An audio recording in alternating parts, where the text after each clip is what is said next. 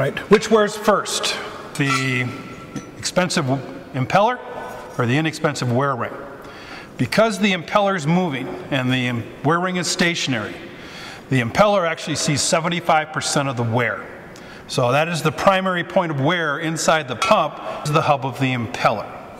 Waterous does offer an option on smaller pumps. It's standard on the large pumps. Anything with a U designation and the S100 and CX pumps, it's called tungsten carbide coating or flame plating. We turn the hub of the impeller down a few thousandths undersize and spray it with molten tungsten carbide that impregnates into the, the bronze. Makes it a very hard material. So as that sand comes down through that clearance, it's going to take longer to wear that material away and make the pump last longer.